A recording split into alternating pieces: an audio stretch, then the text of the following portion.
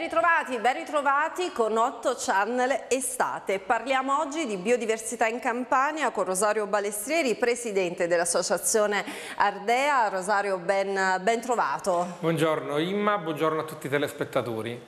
E con noi Luigi Sansone, erpetologo ed educatore ambientale. Ben trovato anche a te Luigi. Grazie, buongiorno a tutti. In collegamento Valeria Balestrieri, segretario dell'associazione Ardea tutti voi. Allora, partiamo subito da un dato. Ardeolus compie 12 anni, un lunghissimo impegno per raccontare la natura, valorizzare e tutelare la biodiversità in Campania. Quali sono effettivamente, è difficile riassumere in poco tempo 12 anni di attività, ma Rosario quali sono gli aspetti della biodiversità maggiormente attenzionati dalla vostra associazione? Ardea si è concentrata in questi 12 anni nella conoscenza e la tutela della fauna selvatica, con particolare attenzione alla vifauna, quindi agli uccelli. In questo percorso forse l'aspetto più interessante, più innovativo di Ardea non è stato cosa, quindi nel fatto specifico gli uccelli, ma il come perché un po' per la prima volta, almeno in Campania, alcune dinamiche di studio sono state aperte e rese fruibili a tutti. Faccio un esempio banale, i campi di inanellamento, che di solito erano super um, diciamo, scientifici, nel senso super um, diciamo, di accesso consentito unicamente agli addetti ai lavori. Noi in alcune fasi li abbiamo resi accessibili ai turisti che venivano a visitare i nostri campi e al banchetto ricevere tutte le informazioni e abbiamo incluso nello staff di aiuto i locali, cioè le persone che abitavano nei luoghi in cui inanellavamo. Questo indipendentemente se um, abbiamo studiato la bifauna intorno al lago Fusario o nell'ambiente dei Campi Flegrei, al lago Matese o in Cilento. Quindi il nostro obiettivo era rendere partecipi chiunque mostrasse interesse, indipendentemente fosse laureato in lettere, astronomia o fisica. Voi siete tutti studiosi, ricercatori, è possibile raccontare quelli che sono i vostri studi uscendo dai laboratori, raccontarlo alle persone, addirittura coinvolgerle, questo è l'obiettivo e addirittura c'è di più, raccontarla anche ai bambini, coinvolgere i più piccoli, è quello che ha fatto Luigi Sansone che ricordiamo è anche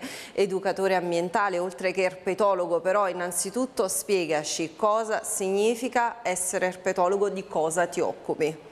Allora, l'erpetologo è uno zoologo, quindi è una persona che studia gli animali, però nello specifico si occupa di animali un po' più particolari, ovvero rettili e anfibi.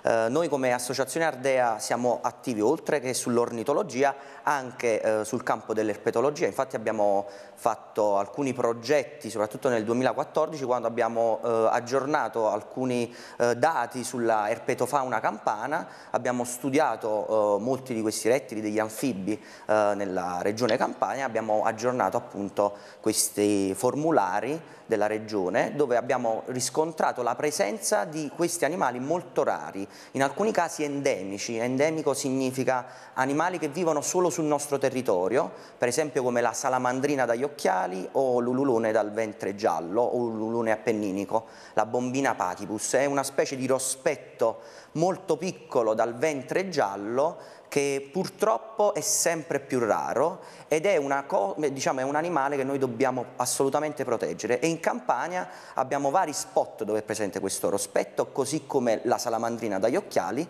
ehm, per esempio sul Matese, in Cilento, sui Monti Picentini e in qualità di associazione noi ci, anche, ci occupiamo appunto del monitoraggio di, di questi animali molto molto rari. Eh, abbiamo avuto anche occasione di fare dei, eh, diciamo delle giornate di salvataggio, per esempio dei rospi, nella, dei rospi smeraldini eh, nel, nell'Interland napoletano, in un parco di San Giovanni, il parco Troisi, dove praticamente questi rospi si riproducevano in un lago e non riuscivano più ad uscire. In qualità di associazione siamo andati lì a raccogliere questi rospi per poi portarli in salvo e farli stare diciamo, bene nel loro habitat naturale. Vogliamo spiegare perché è così importante eh, la, non solo la valorizzazione ma soprattutto dicevi la tutela di specie che si è scoperto esistere solo nella nostra realtà e soprattutto io poi eh, ti chiedo di dare indicazioni a chi in questo periodo d'estate vive la natura dovesse trovare uno di questi animali come deve comportarsi perché a volte abbiamo degli atteggiamenti inconsapevolmente sbagliati. Esattamente.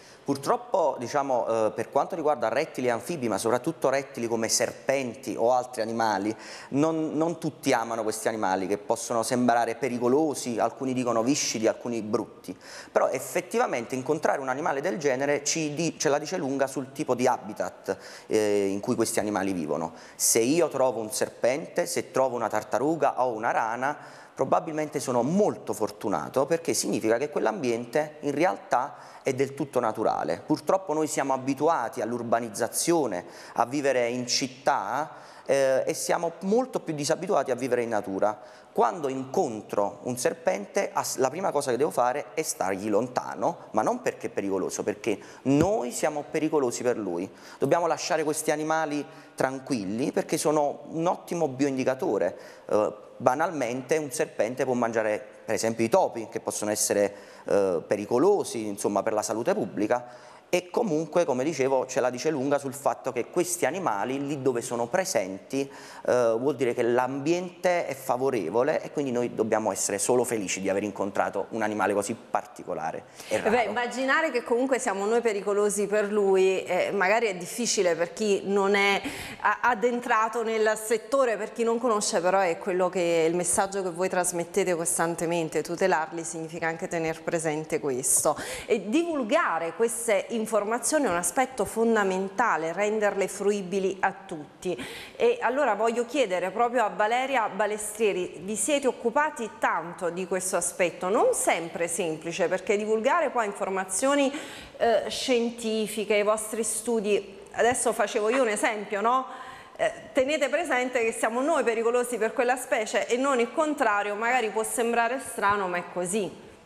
Sì, infatti L'associazione si è spesa moltissimo in questo ambito, eh, proprio perché la nostra volontà era quella di eh, coinvolgere il maggior numero di persone alle informazioni così specifiche. Quindi c'è stato un grande sforzo e ehm, anche se eh, siamo stati un po' fortunati nel senso che eh, non c'è stata una strategia che abbiamo messo in atto, ma abbiamo semplicemente eh, seguito con entusiasmo le iniziative dei soci che compongono la nostra associazione e queste attività sono state veramente le più svariate e ci hanno permesso di raggiungere sia un pubblico specifico di settore attraverso insomma i corsi di birdwatching, i convegni specifici, ma appunto anche di ampliare il nostro bacino attraverso delle, degli eventi eh, tipo mh, escursioni tematizzate per poter eh, coinvolgere anche delle persone un po' più lontane, no? un po' più restie agli ambienti naturali.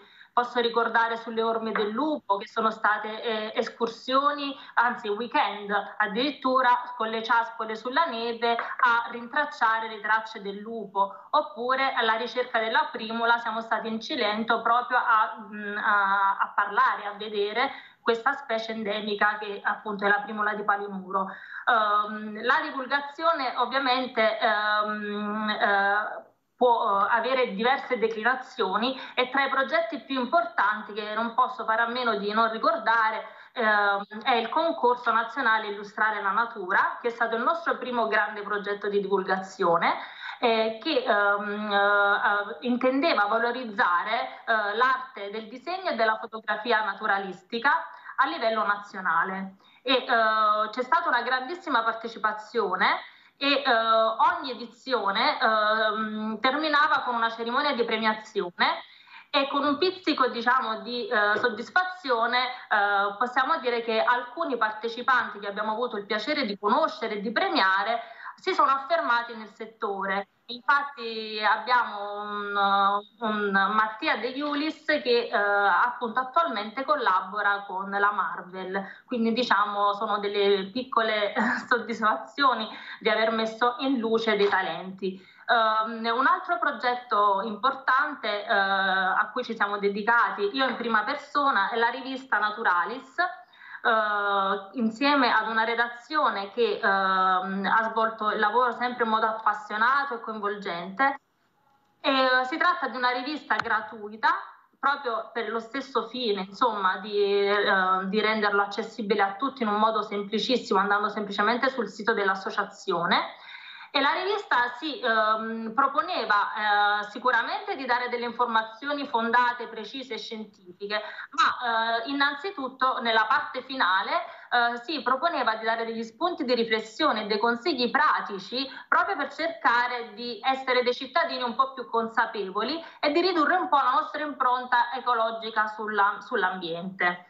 Uh, ogni rivista uh, si um, proponeva di mandare un messaggio. Uh, faccio una, diciamo, citando un numero, il numero connessioni naturali affrontava il tema proprio delle connessioni, che è un tema affrontato in modo molto trasversale Uh, quindi uh, la connessione alla rete intesa sia come rete sociale, quindi abbiamo parlato di comunicazione sociale nei cieli cappuccini, l'abbiamo affrontato come strumento di ricerca, quindi come rete di inanellamento, proprio come uh, tecnica scientifica di studio Abbiamo anche affrontato il concetto di, col, eh, di connessione come collaborazione tra persone no? e quindi attraverso una raccolta dati eh, collettiva attraverso i progetti di Citizen Science. Quindi diciamo ehm, tutto eh, la rivista, tutto il numero cercava di dare, ehm, di sviscerare a fondo una tematica, un concetto e in questo caso specifico dare il messaggio che siamo tutti interconnessi e dobbiamo provare a rispettare gli equilibri che ci, ehm, che ci collegano e ci tengono uniti in qualche modo. Valeria, come dicevo, mi dica. Di, come dicevo in apertura ovviamente raccontare eh, i tanti progetti, le tante iniziative per la tutela e la valorizzazione ma soprattutto per la divulgazione di quelle che sono le nozioni scientifiche fondamentali da sapere un po' tutti è complicatissimo però ho una domanda, eh, avete realizzato anche un opuscolo per bambini per riuscire a comunicare queste nozioni ai più piccoli, ce ne puoi parlare? Assolutamente sì. Sì, eh, l'opuscolo si chiama In volo su Montoro ed è una, un opuscolo informativo e didattico che è nato per essere eh, stampato e distribuito nelle scuole primarie del, del comune di Montoro. Eh, questo opuscolo si compone di due parti. Una prima parte eh, vengono illustrate eh, le specie che sono state rilevate, no? quindi la vifauna presente nel comune di Montoro e la seconda parte invece proprio perché era destinato ai bambini delle elementari, no? E quindi era più relativa all'apprendimento di queste informazioni, quindi eh, si concludeva con dei giochi eh, didattici. Eh, il protagonista di questo opuscolo è il balestruccio, che è stata la specie ehm, che abbiamo rilevata eh, che abbiamo rilevato più abbondante nel comune e non è stata una scelta casuale proprio perché il balestruccio ehm, ehm, ha, eh, ha, mostrato delle criticità in questo ambiente. Abbiamo rilevato infatti eh, la eh, rimozione di moltissimi nidi eh, sotto i tetti diciamo, delle abitazioni e quindi è stato il nostro compito informare innanzitutto le amministrazioni locali attraverso una relazione tecnica diciamo, di, questa, eh, di, questo, di questa problematica e poi proprio attraverso l'opuscolo abbiamo fatto conoscere appunto la specie, abbiamo fatto un focus speciale sul balestruccio, abbiamo detto le sue caratteristiche in modo da sensibilizzare i bambini fin da subito e a vivere questo, in questo caso questo uccello non come un nemico ma come una risorsa. E allora grazie Valeria, io ti ringrazio, grazie a Valeria Balestrieri per essere stata con noi. Grazie a voi e buon proseguimento. E vi anticipo che a breve avremo ancora un collegamento, in questo caso dal campo, con Arnaldo Iudici, ma voglio chiedere, perché si accennava prima proprio all'importanza di comunicare anche ai bambini, tutte queste che sono nozioni scientifiche che possono sembrare distanti, ma è fondamentale che tutti abbiamo quantomeno una base di queste nozioni. Eh, Rosario, tu sei un ornitologo, quali sono i progetti proprio a difesa degli uccelli? Prima ci accennava un opuscolo di cui cui il protagonista è proprio un, uh, una specie che avete trovato a Montoro, diceva Valeria, l'obiettivo era comunicare ai bambini che non deve essere assolutamente un pericolo, non deve essere un nemico ma un nostro amico. Assolutamente, sì, la specie era il balestruccio che poi ritratto qui alle mie spalle nella foto e um, eh, diciamo, i progetti più importanti su, uh, diciamo, sull'avifauna che ha tenuto Ardea sono sicuramente quelli sulla migrazione degli uccelli, in particolare riferimento migrandata matese e migrandata cervati. La prima nata nel, sul lago Matese tra il 2010 e il 2011 è proseguita uh, per otto anni, l'altra nata uh, nel 2021 e che prosegue sul Cervati, sulla, uh, sulla punta del Cervati. La prima indagava soprattutto rondini, la seconda invece la rara avifauna ad alta quota che poi appunto è stata ritratta in una mostra fotografica dedicata. L'altro grande evento di divulgazione scientifica e di incontro uh, fra ornitologi che ha tenuto Ardea è stato il convegno nazionale di ornitologia che dopo 40 anni si è tenuto per la prima volta a Napoli e che ha radunato qui oltre 200 ornitologi da tutta Europa, il grosso erano italiani ovviamente essendo un, convegno nazionale, per parlare proprio delle problematiche degli uccelli. Altro grande progetto di cui avete parlato di recente, è un progetto Ardea, è una spiaggia per il Fratino, di cui responsabile è Marcello Giannotti. Che un Presto gli chiederemo aggiornamenti perché ci ha dato dei dati in collegamento da Mondragone eh, interessanti, positivi, belli finalmente. Sì, potremmo... sì, assolutamente sono sicuro che sarà contento di condividerli. E, eh, e, poi abbiamo anche il monitoraggio degli uccelli marini eh, che facciamo grazie ai um, mezzi messi a disposizione dall'area marina protetta e Regno di Nettuno. Quindi mensilmente siamo sul gommone a censire Berte, Gabbiani, Marangoni dal Ciuffo. Parentesi, avete portato delle foto stupende, studio realizzate da Soci Ardea. Sì, sì, nel caso specifico Riccardo Mattea e Mariano Peluso e queste foto hanno una caratteristica molto particolare, a breve eh, poi ce ne parlerà meglio Arnaldo perché sarà proprio lui a portarle da Napoli al Cilento e questo eh, trasferimento avverrà eh, domenica in cui ci incontriamo e eh, gli consegnerò tutte le foto che sono state per un po' di mesi al Centro Musei della Federico II e queste foto avranno un QR code. Questo QR code, oltre a uh, mettere uh, il visitatore um, nella possibilità di leggere dei contenuti d'approfondimento, gli consentirà di sentire la voce del ricercatore italiano che studia quella specie e che gli spiega perché è importante tutelarla. Questo anche al fine di essere più inclusivi e di poter dare quelle informazioni anche a chi ha difficoltà nella lettura o ad esempio ai non vedenti. E allora abbiamo in collegamento già Arnaldo Iudici, naturalista Ardea. Arnaldo, innanzitutto vogliamo sapere dove sei. Come anticipavo, sei sul campo in questo momento. Sì, buongiorno a tutti. Sono a Caselle in Pittari, eh, che è un paesino del Basso Cilento. Eh, sto facendo un monitoraggio sul campo.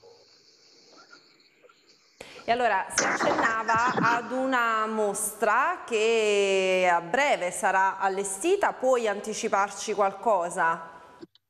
Sì, la mostra ehm, che ritrae gli animali in primo piano, le avete lì eh, diverse, diversi, diverse foto, verrà spostata dal centro museale eh, del Centro Musei di Napoli al Museo Italo Petrosino di Casaletto Spartano in, nel Cilento. Eh, si spera ci sia una buona fruizione come già c'è stata negli anni precedenti per un'altra mostra sempre prodotta da Ardea che si chiamava Gocce di Biodiversità.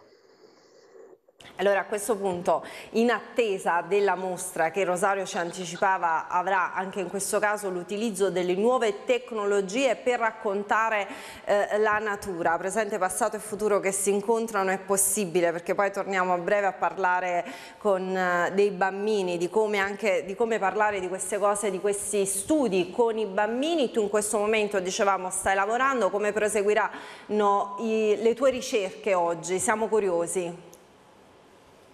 Sto facendo un monitoraggio sul campo per la presenza di uno scoiattolo eh, alieno. Eh, per animale alieno si intende una specie che è stata importata da un altro luogo, in particolare quello che studio è, lo scoiattolo variabile, il Callosurus filaisoni, che è una specie che è stata importata dal sud-est asiatico. Eh, questa specie ha colonizzato i nostri boschi e ha iniziato a prendere eh, possesso di quelli che erano gli spazi di altri sciuridi, di altri scoiattoli, tra questi lo scoiattolo meridionale, il, ehm, il ghiro ed altre specie di eh, roditori presenti nel nostro territorio. Il monitoraggio ci serve a capire eh, in termini quantitativi e qualitativi la presenza di questa specie sul territorio, che ricordiamo è parco nazionale, infatti sono nel Parco Nazionale del Cilento. Allora grazie, grazie ad Arnaldo Iudici per essere stato con noi. Io prima di salutarti chiedo dallo studio se ci sono delle domande, abbiamo visto anche delle immagini che ci hai illustrato. Arnaldo, hai trovato qualche segno di presenza degli scoiattoli? Eh, sì, proprio, mi sono fermato proprio in questo punto perché ho trovato degli scortecciamenti su alcune piante. Eh, gli scoiattoli tendono a consumare la corteccia delle piante, soprattutto nel periodo invernale. Ho trovato degli scortecciamenti, non so se li riusciamo a vedere, ci provo. Ci sono degli scortecciamenti su queste piante, sono molto indicativi perché mi fanno capire la presenza dell'animale, ma in particolar modo la, l'entità dello scortecciamento mi fa capire quanti animali sono presenti. La presenza abbondante di questi animali crea danni alla vegetazione perché quando un animale riesce a fare un cerchio completo intorno alla corteccia della pianta fa la cosiddetta cercinatura, cioè interrompe lo scambio di linfa grezza e linfa elaborata della pianta, praticamente eh, fa morire la pianta. Quindi cosa bisogna fare in questi casi? Soprattutto io sto chiedendo sempre, visto che siamo in piena estate, c'è chi decide di vivere, chi vive il mare, la montagna, nel momento in cui ci troviamo in montagna vediamo questi scoiattolini così carini, come dobbiamo comportarci? Allora, da questo punto di vista tutti i, i coloprono sentieri che vanno in montagna diventano dei ricercatori attraverso la citizen science, utilizzando degli strumenti che sicuramente eh, Rosario vi, eh, vi, illustrerà in modo più, eh, più esaustivo. Eh, chiunque va in montagna può indicarci la presenza dell'animale e questo dato va in un database eh, nazionale a cui tutti i ricercatori possono accedere per poi elaborare i dati eh, rilevati.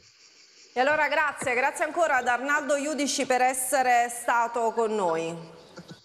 Grazie a voi, arrivederci. E allora, tante informazioni utili su come vivere al meglio questa estate. Possiamo assolutamente godere della bellezza della natura, dei luoghi che anche la nostra regione ha da offrire in maniera, voglio dire, eh, eccezionale, però possiamo anche noi fare qualcosa per contribuire alle vostre ricerche, per contribuire ai vostri studi? Sì, assolutamente. Uh, ogni um, cittadino ormai nel 2023 è chiamato ad essere anche un ricercatore, è un dovere sociale. Come fare la differenziata? L'altro dovere è rilevare la biodiversità anche perché davvero non costa niente, basta scaricare un'app gratuita, ce ne sono varie, fotografare quello che ci interessa, un fiore, un, una piuma o una penna di un uccello, un albero, caricare la foto, un'intelligenza artificiale ci suggerirà la specie, quindi noi non abbiamo neanche bisogno di conoscerla, ci viene suggerita, a quel punto possiamo approfondire vedere cosa ho davanti, cosa ho appena fotografato e quindi leggere dei um, contenuti sicuri rispetto alle informazioni di quella specie e poi verremo contattati da un esperto di quel gruppo animale o vegetale che ci darà conferma di quello che ha detto l'intelligenza artificiale e entreremo in una rete di collaborazione. In questo modo, ad esempio, a marzo è stata aggiunta una specie nuova per la Campania una persona che non era un ornitologo a Palinuro ha fotografato col cellulare una sula bruna mai segnalata prima in Campania. Chiunque, chiunque. anche io, mm, chiunque va in vacanza. tu devi scaricare questa app e un'app qualsiasi, noi non diciamo quale perché okay. ognuno può scegliere sì, sì. quale preferisce un'app qualsiasi ce ne sono tante una, eh, dobbiamo immaginare una rete di ricercatori di scienziati che poi dialogano tra loro sì. in base alle nostre ai nostri input. Sì, e quel dato, una volta che viene confermato dai eh, ricercatori, beh, è una banca dati di disponibilità internazionale, quindi se un ricercatore americano vuole fare una ricerca sullo scoiattolo variabile in Europa, avrà anche il nostro dato di quel pomeriggio che non sapendo cosa fare abbiamo aggiunto un dato e verrà inserito in quella ricerca. E allora poi ci dirai quali sono anche le specie degli ambienti più estremi che avete studiato, però intanto voglio chiedere assolutamente a Luigi di parlarmi del presente perché io in apertura ti ho presentato anche come educatore ambientale. Questo perché? Perché il vostro impegno va anche oltre quello che è il lavoro sul campo, il lavoro di ricerca, ma soprattutto parlare nelle scuole. Cosa significa tutto questo? Come lo si può raccontare a un bambino? Anche perché io immagino che i ragazzini, giovanissimi saranno più bravi di noi e più attenti a diventare tutti piccoli ricercatori secondo me. Assolutamente. Diciamo noi facciamo un lavoro più tecnico dove siamo noi esperti, però è molto importante e come associazione ci teniamo molto alla divulgazione ambientale nelle scuole. Noi lavoriamo molto spesso con bambini di tutte le età, partiamo dal, diciamo, dall'asilo, bambini di 3, 4, 5 anni che ancora non riescono nemmeno a parlare, ma noi eh, tramite diciamo, queste lezioni riusciamo comunque a mostrargli quello che è la natura. I bambini, i ragazzi sono come delle spugne, apprendono molto facilmente e sono molto molto curiosi. La cosa bella di questi percorsi è vedere appunto il cambiamento rispetto alla loro percezione riguardo la natura dall'inizio del percorso fino alla fine. Magari all'inizio sono più resti, ma a toccare una pianta, a guardare un animale sono più spaventati il, diciamo, durante il percorso i bambini riescono a capire che la natura non è pericolosa, che la natura va apprezzata e che imparano tantissime cose bellissime perché madre natura è praticamente perfetta. E, è bello anche vederli cambiare tra di loro e anche nella relazione con noi che gli insegniamo queste cose perché inizialmente sono più diffidenti, pian piano cominciano ad affidarsi alla nostra mano e a quello che gli insegniamo e alla fine esce un lavoro bellissimo, perché loro incominciano a conoscere la natura, cominciano a riconoscere appunto le piante, gli animali, si sbalordiscono come facciamo noi quando vediamo un uccello che sia più raro o meno raro e alla fine del percorso anche loro amano diciamo, vedere animali e piante e si avvicinano molto di più perché magari all'inizio sono più resti perché probabilmente le famiglie non gli insegnano qualcosa eh, riguardante la natura e secondariamente invece grazie a questi percorsi i bambini sono gioiosi di stare anche loro in campo a contatto con animali e piante. C'è poi un altro aspetto, prego Rosario. Poi sì, posso sotto... raccontare sì. un aneddoto, eh, quando a volte facciamo educazione ambientale con i più piccoli, eh, i bambini all'inizio del percorso dicono mi sono sporcato di terra, alla fine del percorso dicono ho toccato la terra e si rendono conto che eh, ci si sporca di ben altro, la terra non sporca, cioè non è... Eh, sono in... la riflessione, sì. dobbiamo farli stare di più sì, nella terra, giocare con... veramente triste pensare che i bambini normalmente prima dei nostri corsi percepiscono come pulita la plastica e sporca la terra e magari alla fine del percorso il contrario. Eh beh, è un bel messaggio, magari eh, soprattutto per l'estate, quando c'è un po' più di tempo, questo magari anche un po' tutti possiamo farlo, noi genitori, le famiglie, farli giocare all'aperto, farli sporcare, questo è il vostro, sì. è il vostro invito. Sì, sì, sì. Diciamo, eh, di tuffarsi negli elementi, diciamo, acqua, terra e apprezzarli. C'è anche l'orto urbano, la possibilità per tutti di acquisire gli elementi, le conoscenze fondamentali per poter realizzare un piccolo orto a casa. Magari non tutti però abbiamo, Rosario dobbiamo precisare, non tutti abbiamo la fortuna, la possibilità di vivere delle giornate all'aria aperta, eh, si corre sempre, è anche una questione a volte di tempo purtroppo.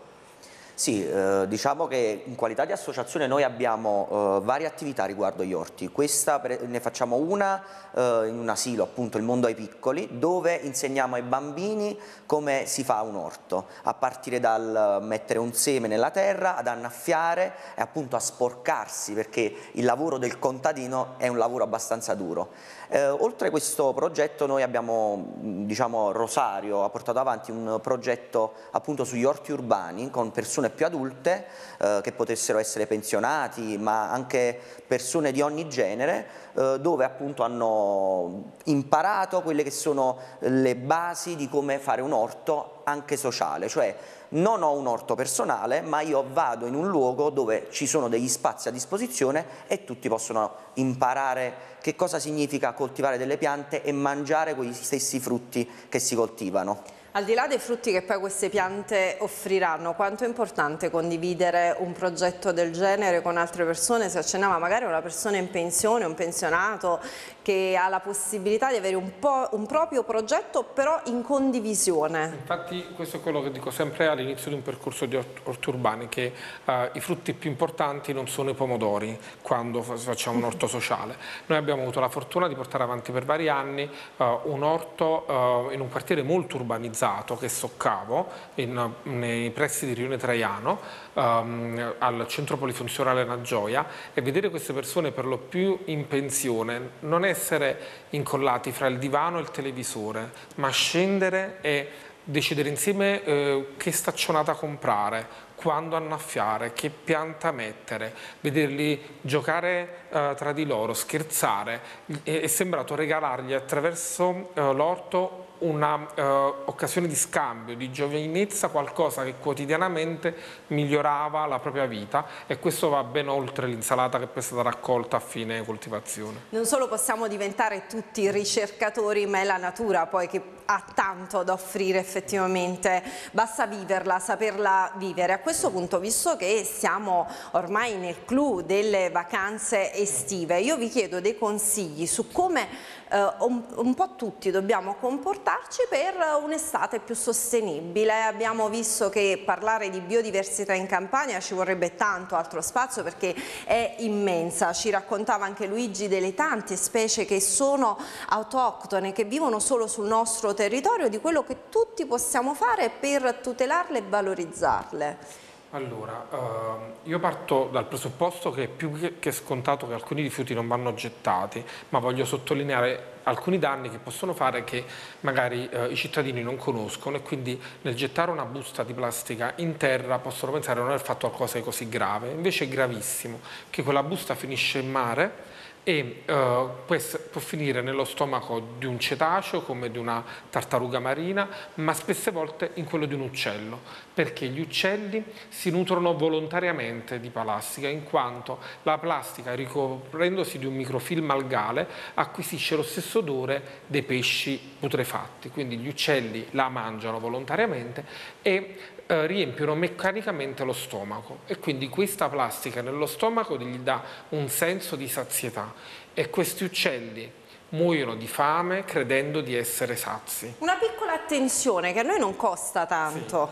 Sì. Io, anche in spiaggia, anche all'aperto, sì, portare con io sé. Io voglio dire di più, quindi non solo non dobbiamo buttarla, ma se possiamo raccogliamola quando eh, siamo al mare non portiamo via dal mare conchiglie, animaletti con cui giocare nel sacchiello e poi vederli morti dopo due ore, ma raccogliamo i nostri rifiuti o quelli degli altri, comunque quelli della nostra specie e portiamoli negli appositi eh, luoghi di smaltimento. Se ognuno di noi raccoglie un rifiuto che magari non ha gettato ma che trova poi diventano tanti rifiuti che abbiamo portato via. Un'ultimissima curiosità, questo è sicuramente un tema su cui i bambini sono molto attenti. Sì, assolutamente. Diciamo che eh, i bambini, come dicevo prima, sono come delle spugne e vogliono apprendere tutto il possibile. È bello anche in estate, visto che noi siamo a contatto molto più spesso in estate con luoghi naturali, chi va in montagna, chi va al mare, e molto spesso si vede anche eh, più facilmente qualche animale più particolare rispetto a quando siamo in città.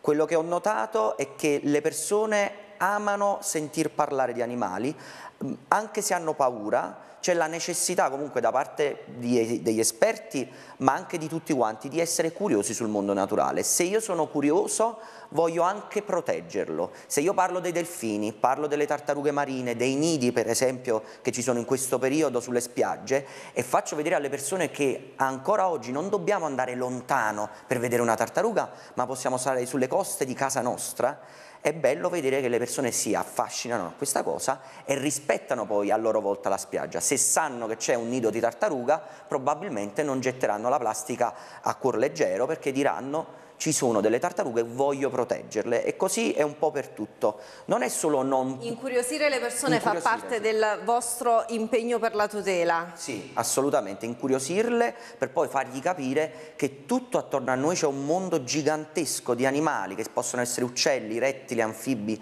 mammiferi e quindi che non bisogna andare lontano per trovarli, ma ce li abbiamo proprio a casa nostra e dobbiamo proteggerli tramite anche il nostro comportamento.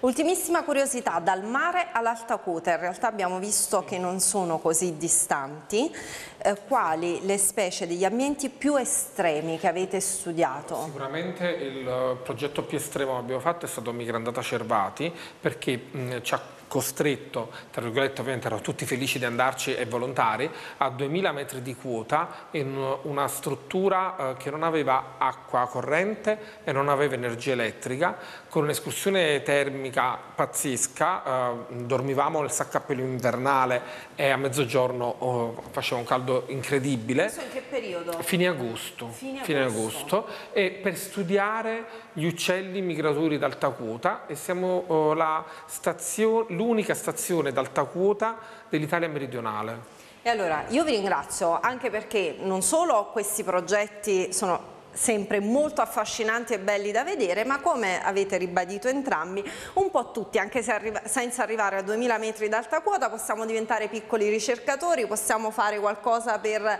la tutela e la valorizzazione della biodiversità della, che c'è nella nostra regione. Assolutamente sì. E allora grazie a Rosario Balestrieri, presidente dell'Associazione Ardea, grazie a Luigi Sansone, erpetologo ed educatore ambientale, ma ne approfitto per ringraziare anche Valeria Balestrieri ed Arnaldo Iudici che si sono collegati con noi. Cambiamo completamente argomento a questo punto con la nostra rubrica dedicata alla salute con Palaiandolo.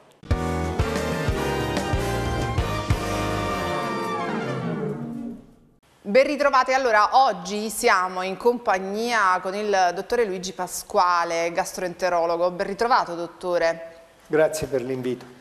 Allora, con lei, dottore, parleremo oggi delle malattie infiammatorie dell'intestino che affliggono persone eh, di tutte le età, ma di solito ehm, esordiscono prima dei 30, con un picco di incidenza, eh, poi mi dice lei se è vero, dottore, che leggo questi dati, dai 14 ai 24 anni, perché si manifestano eh, così precocemente, in un'età così precoce? Se è vero che si manifestano in età così precoce inizialmente, le malattie, parliamo in generale, diamo una panoramica inizialmente della panoramica delle malattie infiammatorie.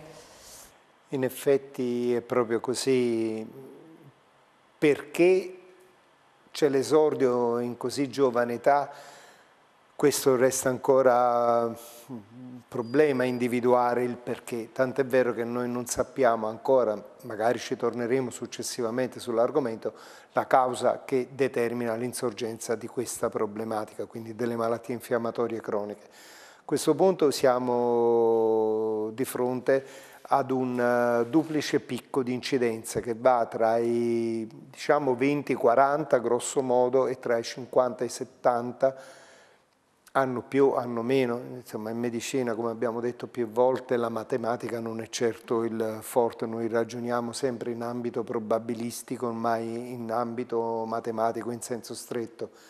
Ci sono questi due picchi che inevitabilmente richiedono la nostra attenzione perché in questa fase quando compaiono i sintomi noi dobbiamo farci venire il dubbio che ci troviamo di fronte ad una problematica tipo mici o malattie infiammatorie croniche intestinali. Poi vediamo, lei ha detto che le cause sono ancora sconosciute insomma alla medicina anche se ehm, ci sono dei fattori scatenanti, poi le vediamo nel corso eh, della puntata. Innanzitutto cominciamo a elencare, eh, dottore, i disturbi più comuni che riguardano proprio le infiammazioni intestinali come il morbo di Crohn e la colite uh, ulcerosa. Eh, C'è una differenza naturalmente tra le due? Sì, Innanzitutto vorrei fare una piccola premessa, noi non dobbiamo commettere l'errore anche quando parliamo di fastidi funzionali di parlare, di colite, perché la colite adesso è una terminologia che va a, diciamo, ad interessare malattie tipo quelle che ha detto lei, il Crohn, la colite ulcerosa, mentre i disturbi funzionali rientrano nell'altro capitolo quello della sindrome del colon irritabile, per cui parlare di colite quando ci riferiamo ad un fastidio funzionale, diciamo, non è proprio Non corretto, è corretto. Perché per lo più la colite inquadra queste problematiche organiche davvero rilevanti. C'è una grande percentuale, vero, vero dottore, che ne soffre, poi sono da considerare anche, eh, ci sono i fattori psicosomatici che possono irritare eh, l'intestino e quindi avere il disturbo dell'infiammazione. Immagino che come abbiamo detto altre volte il, eh, la componente psicosomatica per lo più è appannaggio dei disturbi funzionali, però ciò non toglie che i soggetti con colite ulcerosa sono soggetti che dal punto di vista proprio dell'atteggiamento umorale, caratteriale, un pochino sono sul depresso e diciamo ci riferiamo ovviamente mai alla totalità dei pazienti, ma in generale eh, hanno questo habitus ansiogeno che si portano un pochino appresso. Lei l'altra volta ha detto, è stato già ospite, nostro ospite, ha detto che l'intestino è il secondo cervello, proprio per questo sì, motivo, è collegato insomma. Certo, l'intestino è il secondo cervello, il secondo cervello però per lo più nei casi di colompatie funzionali, quelle a cui facevamo riferimento prima, Qui invece ci troviamo proprio di fronte a delle malattie che hanno sì specialmente la colite ulcerosa, una componente ansiogena di base, ma certamente non è questa la causa scatenante. Probabilmente il, la problematica umorale può peggiorare la condizione di fondo della malattia, ma non mi sento di dire, così come non è così che questa sia la causa della colite ulcerosa. ulcerosa. Mm, passiamo, dottore, parliamo di incidenza. Eh, l'incidenza più bassa nell'Europa centrale e meridionale rispetto ai soggetti del nord Europa e origine anglosassone, perché? Sì, sembra che qualcuno dica anche che è una malattia dei ricchi, per lo più appannaggio di un ceto medio-alto, ma ci sono alcune cose che ci lasciano intendere che noi ogni qualvolta pensiamo di aver trovato la panacea al problema o comunque siamo così convinti di averlo risolto dobbiamo fare macchine indietro. In Africa l'incidenza è relativamente bassa quando confrontata alle civiltà diciamo, industriali o a maggior ragione quando il confronto viene fatto con i paesi anglosassoni, anglosassoni nord Europa. Nord. Però noi sappiamo che le persone di colore e in particolare anche gli ispanici, quindi America Latina quando si trasferiscono al nord, Stati Uniti, cominciano ad avere la stessa incidenza, se non addirittura di più, dei residenti. Allora è probabile che noi non possiamo escludere a priori una componente ambientale, qualunque essa sia, però l'epidemiologia che ci guida molte volte nella diagnosi di queste problematiche ci fa sì che eh, fa sì che dobbiamo tenere gli occhi aperti e non dare per assunto quello che abbiamo appena detto. Cioè, voglio dire anche lo stile di vita, l'alimentazione. Certo, l'alimentazione e lo stile di vita contraddistinguono, cioè quando noi cambiamo le nostre abitudini, in particolare abitudini alimentari, e viviamo una realtà differente, anche in ambienti differenti da quelli dai quali veniamo, in particolare parliamo ovviamente quando noi parliamo dell'Africa non, eh, non, sminuiamo assolutamente, no, assolutamente, le persone, però certamente alcune condizioni ambientali eh, africane quando vengono da parte della popolazione riproposta in ambienti differenti, verosimilmente l'abitante che cambia residenza va ad acquisire vediamo anche mh, su noi stessi, insomma, anche quando cambiamo ambiente, insomma, cambia no, anche... In questo periodo ci stanno paragonando a coloro i quali erano abituati a vivere a 40 gradi e noi ovviamente soffriamo in Subiamo, maniera esatto. Esatto, rilevante, probabilmente ci adatteremo negli anni anche a questo cambiamento, ma certamente l'adattamento dell'uomo all'ambiente è una cosa che, che va studiata. Certo, però ne risente... Mm, ne risentiamo esatto, assolutamente. Esatto, in questo caso l'intestino. Dottore, invece l'eziologia precisa, le voglio leggere questa cosa, delle malattie infiammatorie intestinali rimane sconosciuta, come lei ha anticipato, ma eh, evidenze suggeriscono che la normale flora intestinale inneschi un'anomala reazione immunitaria nei pazienti con una predisposizione genetica multifattoriale. Noto con piacere il la vogliamo. di preparazione. Il, è, è, è, così, no? Insomma, la predisposizione genetica, c'è un Ma diciamo, noi sentiamo parlare ultimamente e ci riferiamo sempre a questo microbiota che chissà quale cosa oscura è. Il microbiota è parte integrante del nostro essere, sono tutti quei germi che noi abbiamo al nostro interno e ognuno dei quali è deputato ad una funzione. Piano piano col passare eh, degli anni e ovviamente eh, i ricercatori da un po' di anni cominciano a porre la loro attenzione su questi ceppi batterici, li correlano a determinate malattie. È probabile che tra qualche anno, quando questi studi saranno talmente evoluti o avremo la possibilità di analizzare questi ceppi con maggior frequenza e capire dove vanno ad agire, forse non, non avremo più bisogno di medicine o di altro, basterà semplicemente, tra virgolette, modificare quella componente della nostra flora per far sì che i problemi eh, si risolvano. È inevitabile che dobbiamo assolutamente dire che a fronte di alcuni miliardi di ceppi batterici che ci troviamo dentro, individuarli tutti e col tempo sarà difficile, ma ormai come tutto in medicina la strada è avviata e probabilmente fortunatamente già, vero dottore Canini? certo già nei prossimi anni avremo delle risposte più che positive nei riguardi della correlazione tra malattia e ceppo batterico determinato. Dottore, il morbo di Crohn come si manifesta, come si presenta? Ma il morbo di Crohn non ha cioè una, diagnosi esatto? Non ha una mm. peculiarità più della colite ulcerosa o delle coliti indeterminate, perché diciamo delle malattie infiammatorie croniche, quelle più importanti sono di sicuro il Crohn, la colite ulcerosa e le malattie infiammatorie croniche del tipo indeterminato, cioè quando non riusciamo a prendere quella persona e a collocarla tra gli ammalati di Crohn o di colite ulcerosa, perché ha magari un quadro endoscopico sovrapponibile ma non c'è ancora un'istologia che ci orienta. Io dico non c'è ancora perché molte volte le indeterminate che appaiono indeterminate all'inizio poi possono evolvere nell'una o nell'altra, però fin quando sono indeterminate hanno una loro collocazione eh, nosografica, sono indeterminate. So, è, è, invalidante come malattia il morbo è di Crohn? È una malattia invalidante perché, se vogliamo, innanzitutto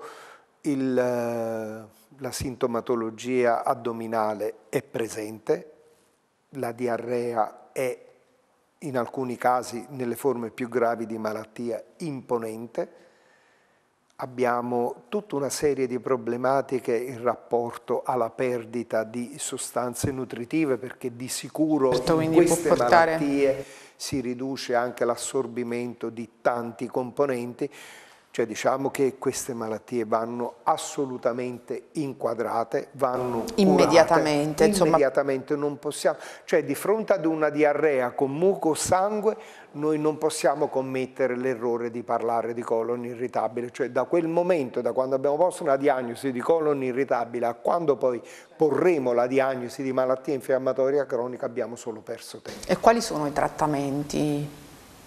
Diciamo che c'è una mm, grossa la ricerca ha migliorato di molto la qualità dei trattamenti, noi siamo passati da molecole quali la mesalazina o comunque il mitico cortisonico che si usava da Sono trattamenti sempre. farmacologici, vero farmacologici dottore? in una prima fase perché eh, Parlerei ancora dei farmacologici per dire che abbiamo questa mesalazina, il cortisone, per poi eh, parlare dei farmaci biologici gli ultimi, di ultimissima generazione che davvero ci hanno consentito di fare un passo in avanti. Perché questi farmaci agiscono nel meccanismo che porta alla manifestazione clinica, per dire l'infiammazione, blocchi di infiammazione non hai la diarrea, sto cercando di banalizzare per certo, eh, certo, per far comprendere certo. Poi abbiamo altri tipi di problemi, altri tipi di problemi sono quelli in cui nonostante l'utilizzo di questi farmaci, ripeto, di ultimissima generazione, noi dobbiamo fare ricorso alla chirurgia e quindi la chirurgia del, eh, della colite ulcerosa è una chirurgia relativamente banale perché basterebbe togliere il colon e noi abbiamo risolto il problema.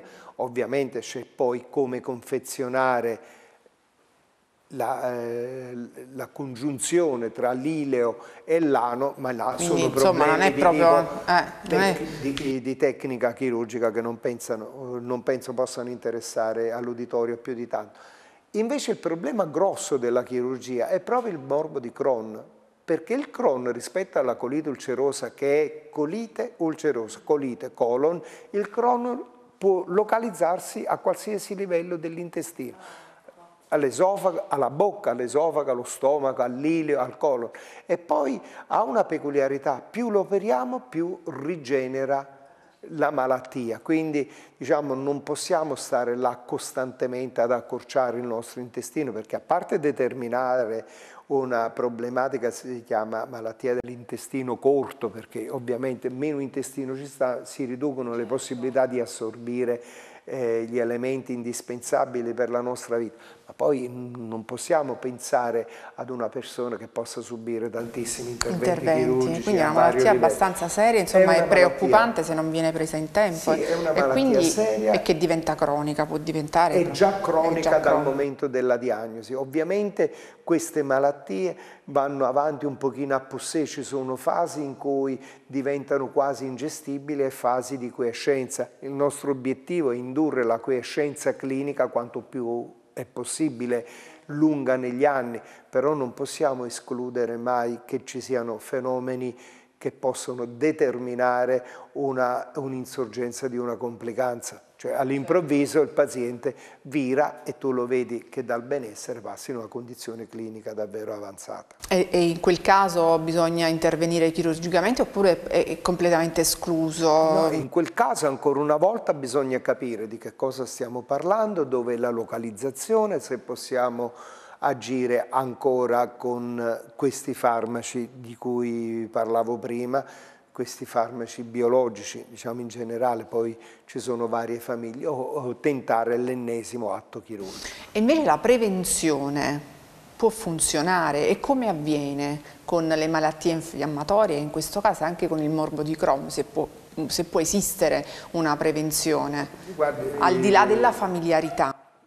La familiarità è una cosa che dobbiamo assolutamente citare. Purtroppo fino al 7%, siamo 7-10% di eh, parenti di primo grado in cui c'è uno dei due genitori che ha una malattia infiammatoria cronica, purtroppo, purtroppo possono oh, essere interessati dalla malattia. Ciò non toglie che noi fino a quando non capiremo qual è il momento determinante la patologia, la prevenzione è una prevenzione generica quella che facciamo oh, sempre per tante altre cose. Basti pensare ad esempio che il fumo ha un'azione protettiva sulla colite ulcerosa, cioè i fumatori danno clinicamente meno segno di sé se hanno la colite ulcerosa, invece se hanno il morbo di Crohn esacerba la malattia. Insomma, il perché certamente non consiglieremo mai esatto, di fumare per evitare con ulcerosa, diciamo fumati un paio di pacchetti di sigarette al giorno che di sicuro non avrai no. problemi e questa ovviamente era la banalità di turno, però um, non, sono dati epidemiologici che ci lasciano capire davvero che ventaglio, uh, quanto è grande il ventaglio di opzioni che noi abbiamo, ma sia terapeutico, ma sia per capire che non è genetica, non è alimentare, è in parte familiare, quindi davvero è un mondo ancora Però è vero che negli aperto. ultimi anni c'è una crescita di queste malattie infiammatorie o è soltanto, insomma, sono gli studi scientifici che hanno, insomma, portato, hanno fatto emergere questo dato, c'è più controllo? Allora, se per ultimi anni intendiamo periodo Covid compreso, dobbiamo dire che nell'epoca Covid sono stati come dire, trascurati tutta una serie di problemi, ma i problemi di medicina Vabbè, generale. generale. C'era mm. gente che col dolore toracico, simile infartuale, non è andata in pronto soccorso certo. perché ovviamente aveva paura dell'infezione. Così come, tornando al discorso delle malattie infiammatorie croniche, se non erano forme particolarmente eclatanti dal punto di vista clinico, insomma hanno preferito gestirla poco e male a casa e quindi quando c'è stata la riapertura degli ambulatori, quando le, eh, gli esami endoscopici hanno ripreso vigore, ovviamente è aumentato come d'incanto il numero di diagnosi. Non parlando di periodo Covid, Conferma questo dato o non è così? No, il dato purtroppo, Esiste, cioè purtroppo che... è così, il trend è, è, in ascesa e ancora non capiamo il perché. Il perché, vabbè insomma gli studi ehm, ci sono sempre, sono, in, sono continui sì, da un lato fortunatamente. fortunatamente anche in Italia un ottimo gruppo di ricercatori che onestamente non ha nulla da invidiare a quelli europei o agli americani Certamente la ricerca è un elemento, mi, davvero mi sembra di dire una banalità, la, no, la certo, ricerca in medicina mm. è, è, il pane quotidiano, più si studiano i problemi più si trovano le soluzioni. Quindi dottore lei mi dice che eh, l'alimentazione non incide, non è insomma, la prima causa per le malattie infiammatorie dell'intestino, perché infiamma... banalmente, come stiamo dicendo spesso, insomma, nella credenza popolare si dice no, non mangiare questo, mangia quest'altro piuttosto che quest'altro, se no ti fa male eh, lo stomaco, poi ti, ti viene l'ulcera, ti viene l'irritazione. Diciamo le, la credenza eh, popolare in generale è un pochino da, da tenere sotto controllo, nel senso bisognerebbe indurre le persone a non raccontare tante frottole, eh, perché quello che noi vediamo in generale sul riferito è ciò che tramanda le tradizioni, però ultimamente dobbiamo anche dire che noi abbiamo scoperto alcune cose, tipo eh, l'intolleranza al latte, che arriva in una popolazione generale fino a come percentuale al 30-40%. È ovvio che un colitico, sì. in questo caso mi riferisco ad uno con una malattia infiammatoria cronica, non al soggetto con la sindrome del colon irritabile, potrebbe avere di per sé un'intolleranza al latte e quindi peggiorare un quadro clinico. La situazione già di per sé. Mm-hmm. Esatto, ma non è certamente questo che determina la colite ulcerosa. Quindi i, I, soggetti con le malattie infiammatorie croniche intestinali fanno un'alimentazione un, pochino tailored, eh, come la definiscono gli inglesi, cioè viene un pochino a mo' di sarto che ti cuce il vestito addosso, il soggetto con le problematiche deve essere un po' seguito e cercare di studiare insieme perché in linea di massima il principio universale dal punto di vista alimentare non esiste. Non esiste, invece colpisce uomini o donne in, in più maniera... Meno, più o meno la stessa percentuale, qui non abbiamo differenze di sesso. Di età sì, però abbiamo visto che l'età incide molto, insomma c'è una fascia di età e, e poi ce n'è un'altra. Certamente, anche... mm. certamente è più problematica quella giovanile, perché noi quando parliamo del secondo picco, quello o 60-80 o 50-70, ecco, a secondo un pochino dei riferimenti che vogliamo prendere, nell'anziano nell eh, a determinare le malattie infiammatorie ci sono anche altre componenti, tipo fenomeni di vascolarizzazione addominali, cioè così come esiste l'infarto del miocardio che quando il sangue non arriva più con la dovuta quantità al cuore si genera l'infarto, noi abbiamo ugualmente che quando il sangue non arriva con la dovuta quantità ci sono fenomeni ischemici per cui è a volte negli anziani un pochino difficile stabilire la uh, giusta diagnosi, ma questo ovviamente sempre perché riferiamo dati affinché ci si possa capire, però negli ambienti dove si fa, dove si studiano le malattie infiammatorie croniche, un pochino i quadri endoscopici, un po' l'istologia, un po' l'esperienza clinica, ovviamente la diagnosi la si pone in un numero più che significativo dei casi.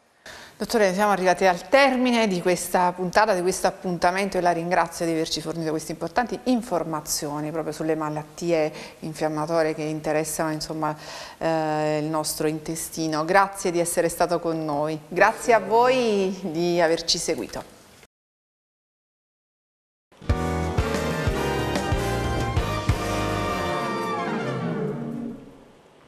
Grazie a tutti i nostri ospiti, grazie a voi per averci seguito. Ci rivediamo come sempre dal lunedì al venerdì con 8 Channel Estate.